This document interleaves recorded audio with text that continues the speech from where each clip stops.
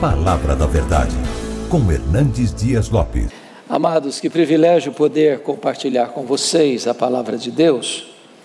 E eu peço a sua gentileza para abrir comigo a sua Bíblia no livro de Atos dos Apóstolos, capítulo 17. E faremos a leitura dos versos 16 ao 34. Atos 17, 16 a 34.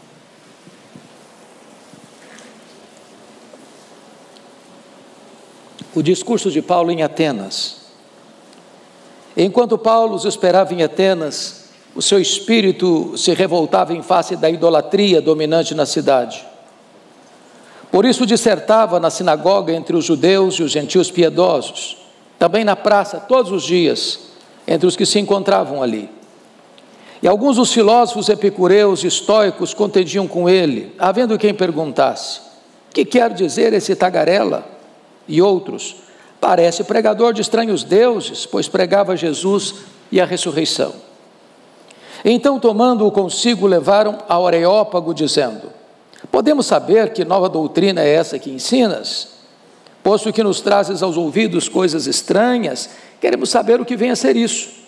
Pois todos os de Atenas e os estrangeiros residentes de outra coisa não cuidavam, senão dizer ou ouvir as últimas novidades.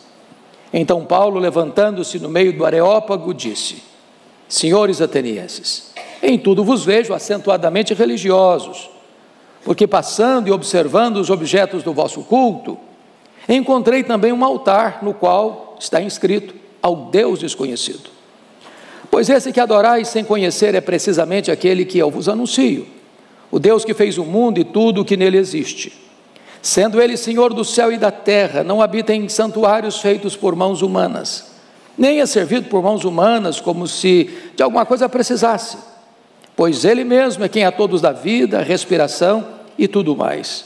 De um só fez toda a raça humana para habitar sobre toda a face da terra, havendo fixado os tempos previamente estabelecidos e os limites da sua habitação para buscarem a Deus, se porventura o possam achar, tateando o possam achar, bem que não está longe de cada um de nós, pois nele vivemos e nos movemos e existimos, como alguns dos vossos poetas têm dito, porque dele somos também geração. Sendo, pois, geração de Deus, não devemos pensar que a divindade é semelhante ao ouro, à prata ou à pedra, trabalhados pela arte e imaginação do homem. Ora, não levou Deus em conta os tempos da ignorância. Agora, porém, notifica aos homens que todos, em toda parte, se arrependam, porquanto estabeleceu um dia em que há de julgar o mundo com justiça, por meio de um varão que destinou e acreditou diante de todos, ressuscitando dentre os mortos. Quando ouviram falar de ressurreição de mortos, uns escarneceram. E outros disseram: A respeito disso, te ouviremos noutra ocasião. A esta altura, Paulo se retirou do meio deles. Houve, porém, alguns homens que se agregaram a ele e creram. Entre eles estava Dionísio, Areopagita, uma mulher chamada Dâmaris, e com eles outros mais. Hoje nós estamos numa jornada de gratidão. E a grande pergunta é: gratidão a quem? Esse texto responde esta pergunta. O apóstolo Paulo, o grande desbravador do reino de Deus, o grande bandeirante da fé, está fazendo a sua segunda viagem missionária. Já tinha passado por Filipos e sido açoitado em praça pública. Já tinha ido à capital da província da Macedônia, a cidade de Tessalônica, plantado uma igreja, mas foi escorraçado da cidade. Já tinha chegado a Bereia, onde encontra uma igreja que se torna modelo mas é expulso também da cidade. E às pressas ele chega então em Atenas, deixando para trás os seus colegas de viagem, Silas e Timóteo. E ele chega nessa capital intelectual do mundo, nessa metrópole do saber humano, na cidade dos grandes corifeus da filosofia, na terra de Péricles, de Sócrates, de Platão, de Aristóteles nessa terra dos homens que encheram bibliotecas com a sua erudição. Ele chega nessa cidade aspergida pela luz do saber, da filosofia e das artes. E diz a Bíblia que ao chegar na cidade, ao percorrer a cidade, seu espírito se revolta por causa da idolatria dominante na cidade. É curioso isso, porque na cidade mais culta do planeta, no maior centro do saber humano, o apóstolo Paulo encontra a mais tosca ignorância espiritual, a mais recuada idolatria do mundo. E seu espírito se revolta com isso. Para vocês terem uma ideia, quando Paulo esteve em Atenas, Plínio chegou a dizer que havia mais de 30 mil estátuas dedicadas aos deuses em Atenas. Petrônio chegou a dizer que era mais fácil encontrar um deus em Atenas do que um homem. Isso levou Diógenes a satirizar com a cidade de Atenas, saindo em pleno meio-dia, sol a pino, com a lanterna acesa na mão, procurando atentamente alguma coisa, e quando alguém lhe pergunta: O que você procura, Diógenes? Ele respondeu: Eu procuro um homem, porque nessa terra só tem deuses. Para cada altar, para cada pórtico, havia um Deus, havia uma divindade. Bom, mas o que Paulo fez diante dessa constatação?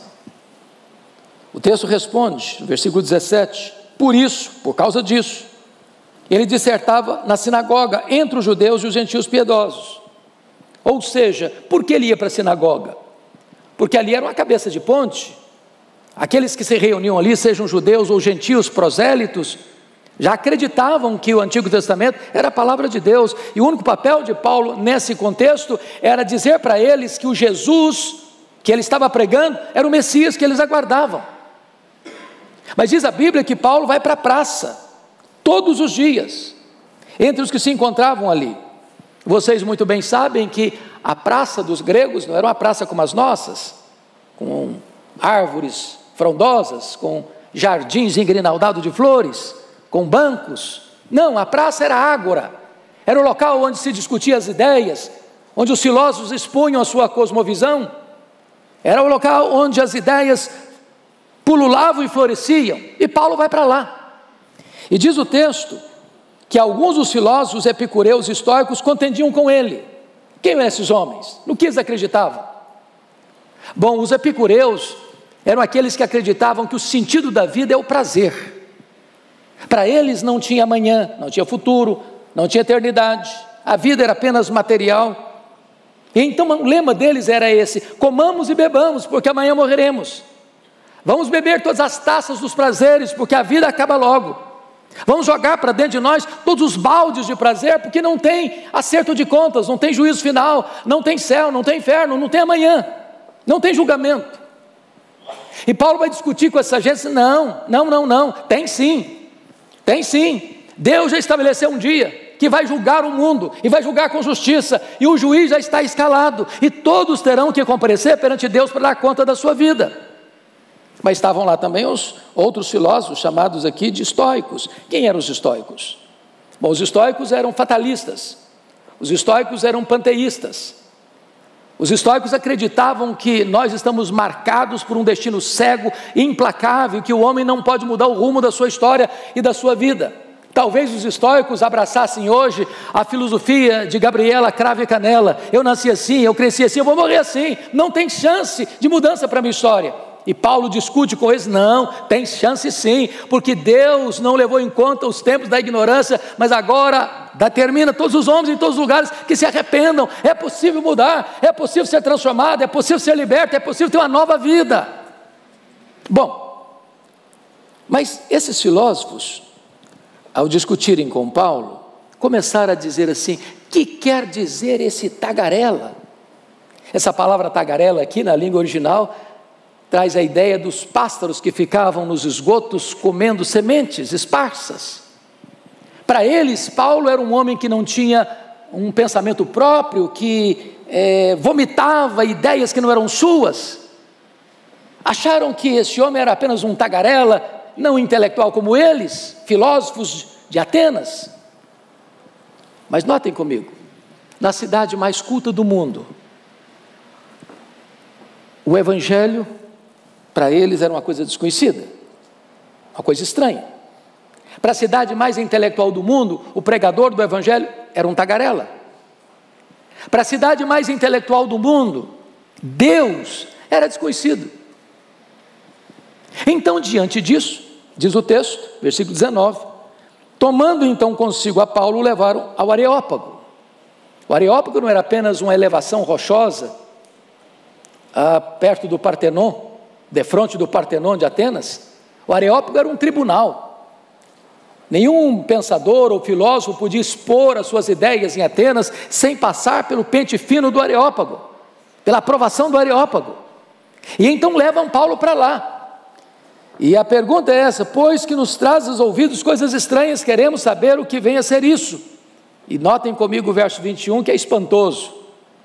Pois todos os de Atenas e os estrangeiros residentes de outra coisa não cuidavam se eu não dizer ou ouvir as últimas novidades. Me impressiona isso, porque Paulo não tinha os meios de comunicação que temos hoje. Atenas já era uma grande cidade. Só deuses tinha mais de 30 mil. E a cidade estava tomada por esse pensamento: o que é, que é isso que esse homem está pregando? Que novidade é essa? Porque Paulo pregava Jesus e a ressurreição, e eles pensavam que Paulo estivesse acrescentando mais duas divindades ao panteão grego: Jesus e a ressurreição. Então, Paulo aproveita o ensejo, a oportunidade, para fazer um dos mais belos discursos registrados na Bíblia, um dos mais eloquentes. E me encanta a maneira como Paulo faz a abordagem, porque ele não começa criticando. Ele é um orador. Ele começa elogiando o seu auditório. E ele diz assim: Senhores atenienses, em tudo os vejo acentuadamente religiosos. O que, que ele está fazendo? Ganhando a atenção do seu auditório, conquistando os ouvidos do seu auditório. Então ele começa a dizer: Pois andando e observando os objetos do vosso culto, preste atenção nisso, porque às vezes nós passamos e não observamos. Às vezes nós andamos pela cidade como um turista. Às vezes admiramos um monumento, às vezes admiramos a arquitetura, às vezes tiramos uma foto, fazemos um filme, mas não interpretamos, não entendemos. Passando e observando os objetos do vosso culto, encontrei um altar no qual está escrito ao Deus desconhecido. Pois esse que adorais sem conhecer é precisamente o Deus que eu vos anuncio. Por que, que havia esse altar, o Deus desconhecido em Atenas? Porque os atenienses criavam seus deuses, forjavam seus deuses, serviam seus deuses e tinham medo dos seus deuses. Então, se porventura algum Deus foi esquecido sem um altar aqui, esse Deus iria despejar sobre eles a sua fúria que, que fizeram? Criaram um altar genérico, sem rótulo, ao Deus desconhecido, pensando: se algum Deus foi esquecido, vai olhar para esse altar e não vai nos punir. Então, a partir daí, Paulo começa a falar para os atenienses o Deus que eles não conheciam, o Deus vivo, o Deus verdadeiro. Quem é esse Deus que estamos agradecendo nessa jornada de gratidão? Primeiro lugar, veja comigo o versículo 24: é o Deus que fez o mundo e tudo o que nele existe. Essa é a primeira verdade. Deus é o Criador. O que eu acho maravilhoso é que Paulo não tem constrangimento de afirmar essa verdade no centro universitário do mundo, na mais intelectual cidade da terra, que Deus é o Criador. Com isso, Paulo está dizendo que a matéria não é eterna, como pensavam os gregos. Com isso, Paulo está dizendo que o mundo não surgiu espontaneamente. Com isso, Paulo está dizendo que o mundo não é resultado de uma mega explosão cósmica, casual, que gerou esse universo tão fantástico, com leis tão precisas, com movimentos tão harmônicos. Com isso, Paulo está dizendo que o universo não é resultado de uma evolução de milhões e milhões de anos, que o universo foi criado e criado por Deus.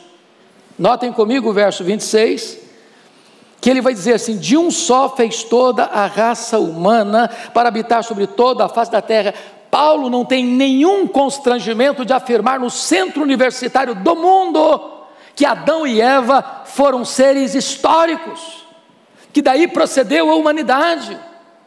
Você não precisa tirar o seu cérebro fora, a sua inteligência jogar para o lado, para dizer que você crê que Deus é o Criador, que você não veio dos símios, que você veio das mãos do Deus Todo-Poderoso. Você foi criado à imagem e semelhança de Deus. Segundo lugar, quem é esse Deus? Esse Deus é o Deus da providência. Veja aí comigo, por gentileza, o verso 25 na parte B. Pois Ele mesmo é a quem a todos dá vida, respiração e tudo mais. Confira o verso 28. Pois, ne, pois nele vivemos e nos movemos e existimos. Em outras palavras, contrariando o que ensinava o deísmo, Deus não criou o universo como um relojoeiro cria um relógio, fabrica um relógio, dá corda nele e deixa o relógio trabalhando sozinho. Este Deus não só criou, esse Deus sustenta. O simples fato de você e eu estarmos aqui nesta manhã é uma prova insofismável de que Deus existe, porque nele vivemos, nos movemos e existimos. Ele quem nos dá vida, a respiração e tudo mais. Se ele fechar a torneira do oxigênio, você e eu caímos e viramos pó. Ele quem sustenta a vida, Ele quem dá a vida, Ele quem protege a vida, Ele que nos conduziu até aqui, de força em força, de fé em fé, de glória em glória, de triunfo em triunfo. Mas em terceiro lugar, quem é este Deus? O versículo 24 ainda prossegue e diz assim: sendo Ele Senhor do céu e da terra. Eu acho isso impressionante, porque este Deus reivindica para si o status indisputável de ser o Senhor. Temos senhores secundários. Hoje nos sentimos honrados, senhor prefeito, com a sua presença entre nós. Mas nós cremos que o verdadeiro Senhor é o nosso Deus. Não são os reis, não são os príncipes, não são os poderosos deste mundo, não são os juízes das cortes mais egrégias, o Senhor absoluto, diante de quem se dobra todo o joelho nos céus, na terra e debaixo da terra, é o nosso glorioso Deus, o Senhor Jesus Cristo. Ele é o Senhor. Mas ainda, notem vocês, quem é este Deus? Este Deus é o Deus da nossa salvação, porque o versículo 18 nos informa que Paulo pregava sobre Jesus e a ressurreição. Este Deus que, por amor de nós, desceu da glória, despiu-se, esvaziou-se, humilhou-se, assumindo a forma de servo, chegando a ponto de humilhar-se, a ponto de dar a sua vida por nós, de morrer na cruz por nós, de assumir o nosso lugar, de vestir a nossa pele, de pisar o nosso chão, de carregar sobre o seu corpo no madeiro os nossos pecados de morrer pelos nossos pecados, de ressuscitar para nossa justificação, de voltar aos céus em triunfo e de derramar o Espírito Santo e de prometer que Ele vai voltar para buscar a sua igreja. Este é o Senhor que nos deu vida, que nos salvou, que nos perdoou, que nos redimiu, que nos deu sentido para viver. Este é o Deus da salvação. Mas finalmente, quem é este Deus que os atenienses não conheciam? Este é o Deus que oferece a você e a mim, nesta manhã, a oportunidade de uma mudança de vida. Veja, por favor, versos 30 e 31. Ora, não levou Deus em conta os tempos da ignorância. Agora, porém, notifica aos homens que todos em toda parte se arrependam. E notem vocês que, se Paulo começasse assim o discurso dele, senhor prefeito, ele perderia o seu auditório. Ele elogia o auditório no começo. Mas agora, para a cidade mais culta do mundo, ele está dizendo: olha, vocês estão mergulhados numa grande ignorância. Não ignorância filosófica, não ignorância científica, mas ignorância de quem é o verdadeiro Deus. Da responsabilidade que você tem de colocar sua vida nas mãos desse Deus. Deus não levou em conta esse tempo, mas agora notifica a todos os homens em todos os lugares, ricos e pequenos, grandes e pequenos, ricos e pobres, doutores e analfabetos, cientistas e gente leiga, religiosos e não religiosos, todos, sem exceção, todos precisam se arrepender. E precisam se arrepender porque haverá um dia que Deus marcou como dia do juízo, e todos estarão lá, e o juiz já está escalado, e esse juiz tem um critério: justiça. Talvez alguém pergunte, mas pastor, eu vou me arrepender de quê? Eu sou uma pessoa boa, eu sou um bom cidadão, eu sou um bom pai, eu sou uma boa mãe, eu sou um bom patrão, eu sou um bom empregado, eu sou um bom empresário, eu sou uh, até um bom religioso. Ok. Você precisa se arrepender não apenas do que você faz, mas de quem você é. Você não é pecador porque peca, você peca porque é pecador. Uma laranjeira não dá laranja, ela não é laranjeira porque dá laranja, ela dá laranja porque é laranjeira. A Bíblia diz que em pecado me concebeu minha mãe. Não há qualquer ser humano, por mais robusto que seja o seu conhecimento, por mais predicados que tenham os seus valores morais, que não tenha marca do pecado. Todos pecaram e destituídos estão da glória de Deus. E vamos ter que comparecer perante o tribunal de Deus para dar conta da nossa vida, daquilo que falamos, daquilo que fizemos, daquilo que não fizemos, daquilo que pensamos. Diante desse justo julgamento, não haverá mínima possibilidade de chegar lá e dizer: o senhor que é o juiz aí, o senhor Jesus, vou, vou molhar a tua mão aqui para tu dares um jeitinho na minha causa. Não, ninguém vai molhar a mão dele, ele é incorruptível. Ninguém vai comprar a sua liberdade lá porque ele é justo. É a única maneira de você e eu enfrentarmos o justo juiz de Deus e sairmos de lá justificados. É se hoje nós nos arrependermos, se hoje nós olharmos para Jesus como nosso único suficiente Salvador e entregarmos nossa vida a Ele. Ninguém naquele dia será inocentado pelas suas obras, ou mesmo pelas suas atividades religiosas, ou pelos seus sacrifícios, ou por quaisquer outras coisas que porventura você venha a fazer. Você depende exclusivamente da graça de Deus para ser salvo.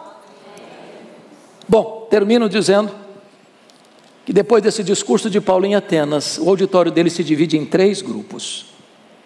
O primeiro grupo está aí no versículo 32 diz que uns, ao ouvirem falar de ressurreição de mortos, escarneceram. Por que escarneceram? Porque os gregos, vocês muito bem sabem, subscreviam o chamado dualismo. Para os gregos, a matéria que você vê e tange era essencialmente má. O espírito imaterial e invisível, essencialmente bom. Então os gregos aplaudiam a morte. Para os gregos, quando alguém morria, a alma imaterial era liberta do claustro, da prisão, do cárcere do corpo. Para eles, falar em ressurreição era um retrocesso, porque aquela alma que fora liberta na morte teria que voltar à prisão do corpo. Eles abominavam essa ideia. Então escarneceram. O segundo grupo, está aí no versículo 32, diz assim: a respeito disso, outros disseram: te ouviremos noutra ocasião. Tá bom, Paulo, você fala umas coisas até boas aí, até gostamos das suas ideias sobre esse Deus que nós não conhecíamos, tudo bem. Mas sabe uma coisa? Nós temos muita coisa para pensar, nós temos muitas decisões para tomar, nós temos muitas outras prioridades que estão na lista da nossa vida, e hoje eu não tenho tempo, hoje eu não quero, quem sabe amanhã, um dia, lá no futuro eu vou pensar sobre isso, noutra ocasião nós vamos ouvir você sobre esse assunto. Esse é um risco fatal, por duas razões. Primeiro, que você não administra o amanhã.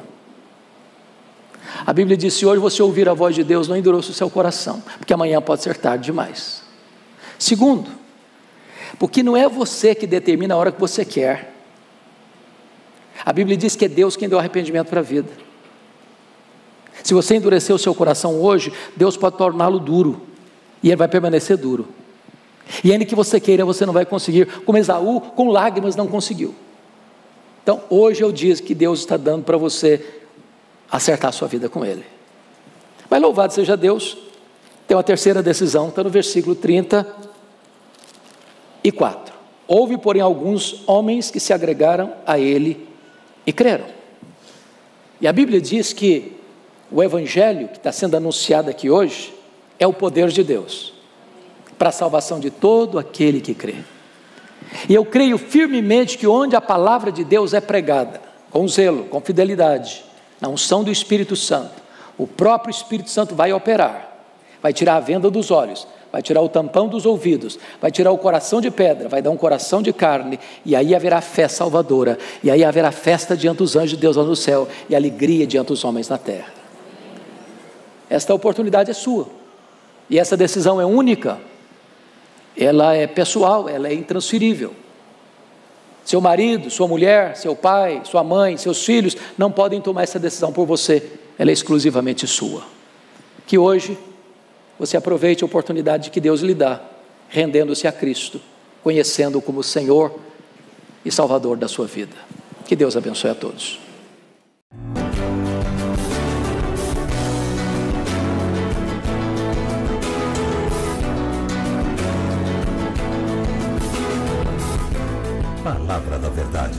Com Hernandes Dias Lopes.